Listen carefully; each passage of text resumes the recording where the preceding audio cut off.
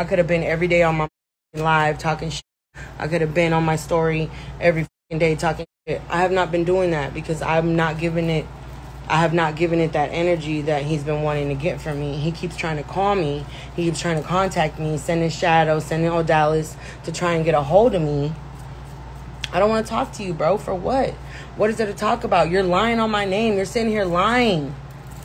And I feel like now he's lying even more because I won't answer his calls. So now